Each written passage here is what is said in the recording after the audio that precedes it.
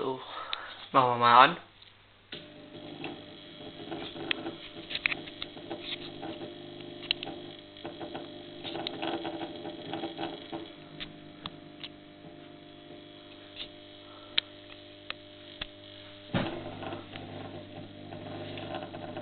Gleichrichtereffekt.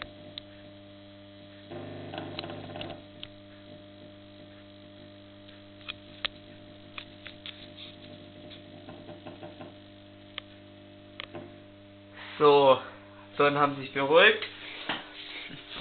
Die Birnen sind. Ah, kleinen Moment. Das sind zwei ah, Natriumdampflampen. Ah, Gott, geht die Klipsen noch schwer von meinem AEG-Koffer. 150. Ähm, das ist eine neue Lampe, die, naja, ganz neu nicht mehr, hangen bei mir schon ein Jahr äh, im Freien draußen. Ja, ein paar Kratzer leider schon. Ähm, sehr, trau sehr schade eigentlich. Äh, irgendwo war doch so eine Macke noch in der Haube. Irgendwo war doch da was. Hm. Ah, da. Das ist wie so ein kleiner Sprung. Ich weiß nicht, ob man den hier sieht. Auf jeden Fall ist da ein Sprung. Ach du Scheiße. Jetzt hat sich's gelöst. Ähm, Röhren sind Gott sei Dank heil geblieben. Zeige ich mal die Lampen. Oh, ist das hell. Und wir haben hier einmal Philips HPLN Made in Belgium und einmal Radium RNPE Made in Germany, aber schon die gleiche Bauform vom Brennergestell, sowas wie die Made in Slowakia. Ist verdammt hell. Weiter macht man hier mit den Leuchtstoffröhren. Mal ein bisschen meine ganze Stubenbeleuchtung. Hier. Nava. Ähm, Neutralweiß. 20 oder ja. Ähm, T10. Hier das gleiche. Auch T10. Und hier nochmal das gleiche. Nur als Neutralweiß Deluxe. Äh, Baujahr. Ähm, die, sind, die zwei, ich glaube, die ist 76 und die ist 78 und die dürfte 80 sein. Ich habe jetzt nicht mehr drauf geguckt, die Beschriftungen sind doch leider auf der hinteren Seite. Ähm, ja, billig EBV-Röhre. Dann haben wir hier Siemens-Lampen. Sechs Stück sind vorhanden. Mit je 20 Watt ähm, Warmweit 30, T12, Nava. Ähm, hier haben wir auch noch ein schönes ähm, Randloch.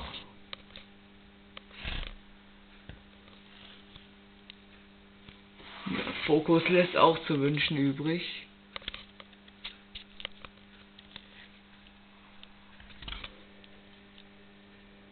Naja. Hier haben wir dann noch so eine. Und dann haben wir hier die 18 Watt Röhren. Hier ist eine Osram. Aber Moment, ich kann auch die Stempel hier gut. Ähm, gut, eine Birne ist kaputt. Michael. Ähm, ja, gut.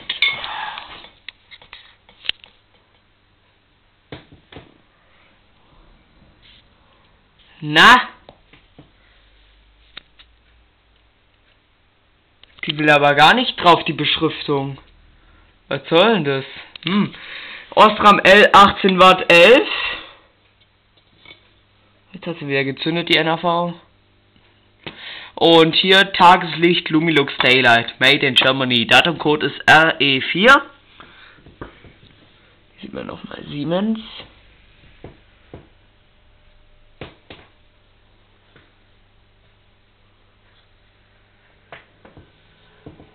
So. Ähm, hier geht's dann weiter mit einer also alles mit Russenstarter sogar noch bestückt, also diese Alu-Starter. Alles mit russischen Startern. Osram L 18 Watt Schrägstrich 640. Sehr schlechte Farbwiedergabe. Ähm, 4000 Kelvin, 840 ist da besser. Äh, Recycle, Cool White steht da noch, Recyclable Made in Germany, CE-Zeichen und das Recycling-Zeichen. Ähm, will alles irgendwie gar nicht auf Kamera drauf. Was ist denn hier mit einem scheiß Fokus los?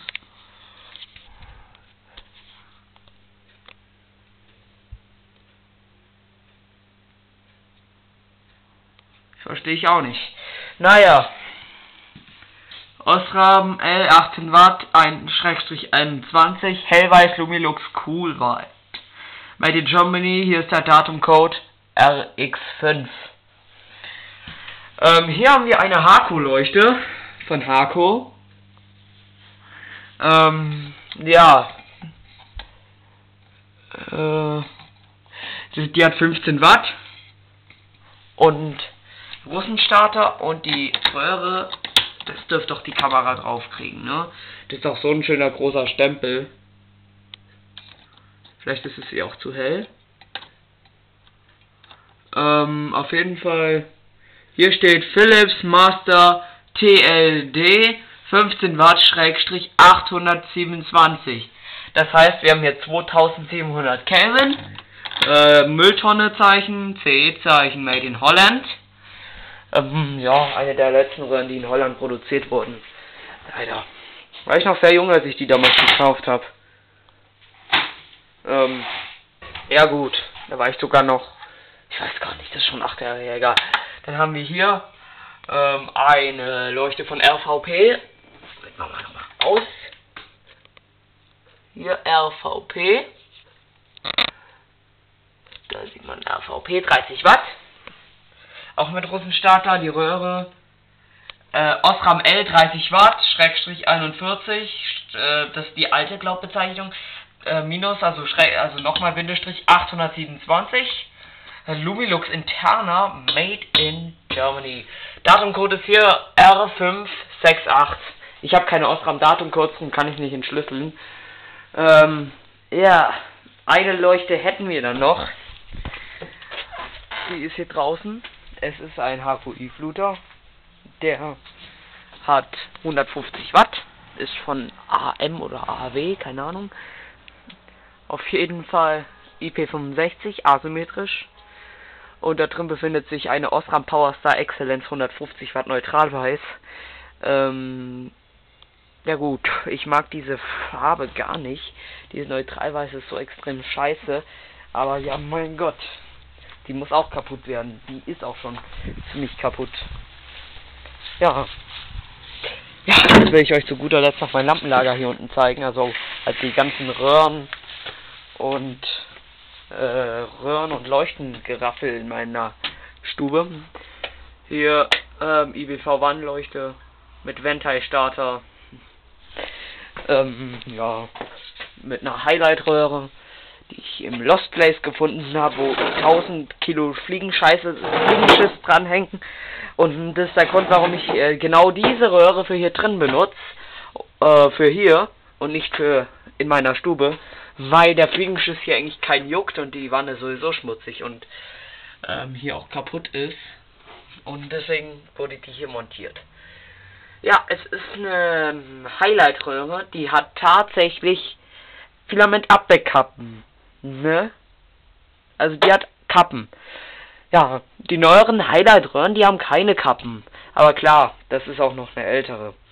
Ist ja wieder logisch, ne? Mhm.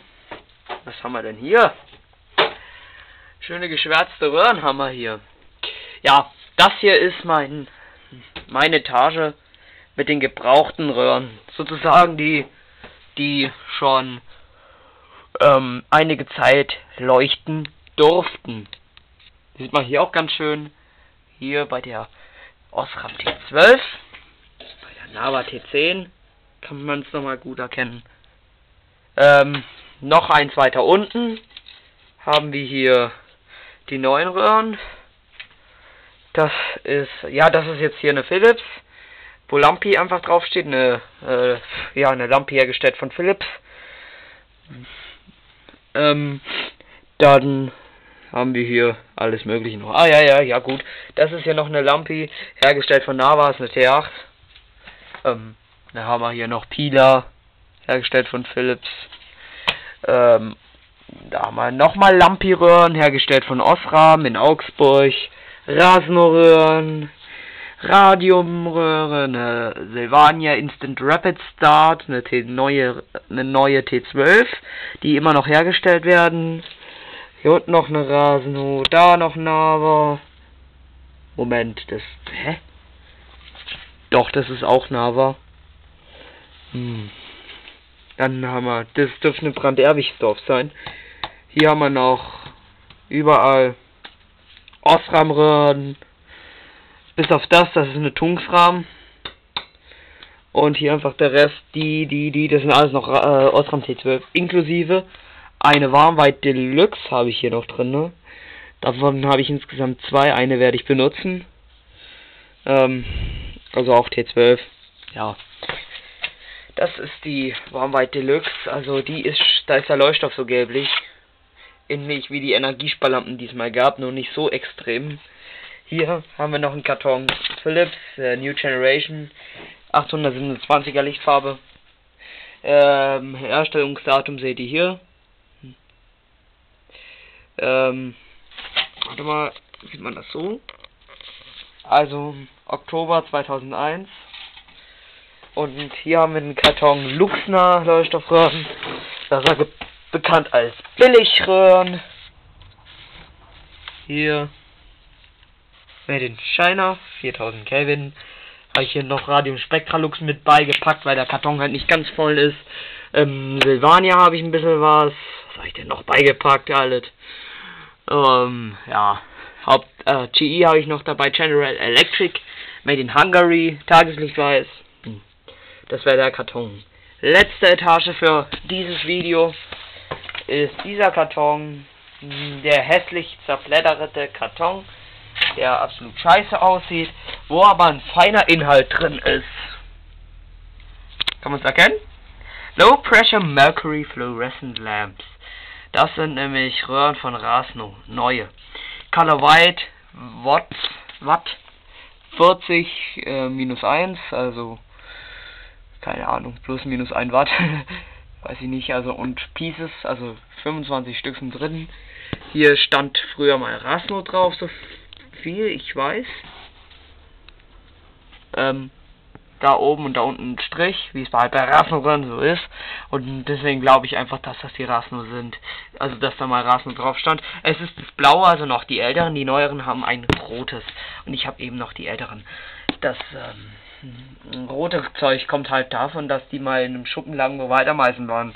Das ist eigentlich Weitermeißengift. Hat aber nicht geholfen. Drum haben leider auch einige tageslichtweiße Rassenröhren was abbekommen. Die sind halt jetzt, äh, haben jetzt scheiße rote Flecken. Ähm, mit ein bisschen Mühe und Hoffnung, dass der Stempel hält. Kann man es auch abwaschen. Und hier eben nochmal dieser Luxner Karton. Ähm, ja, muss man nicht viel dazu sagen. Hier noch alles mögliche, Osram Baumröhre, eine Daylight kann benutzt werden, alle Philips T12, made in Poland, made in France, made in Holland. Da ist die T12 Röhren, sogar die made in Poland ist äh, noch T12. Und ja. Ich hoffe, euch hat das Video gefallen. Wir haben wunderbares Wetter. Ähm, ja, wie soll ich sagen? Geht ein bisschen raus, solange das Wetter noch passt. Denn auch bei schlechtem Wetter kann man mit Lampen spielen, sozusagen. Ja, vielleicht wird noch ein Video kommen über meine Straßenbeleuchtung nachts, was, ob, was sich verändert hat und ob sich was verändert hat. Äh, mal gucken. Auf jeden Fall, das war's jetzt hier, weil das Video wird wieder relativ lang. Ähm, ist auch schon länger keins mehr gekommen. Und das war's jetzt hier mal vorerst. Ja, bis dahin. Bleibt gesund, haltet die Ohren steif. Man sieht sich.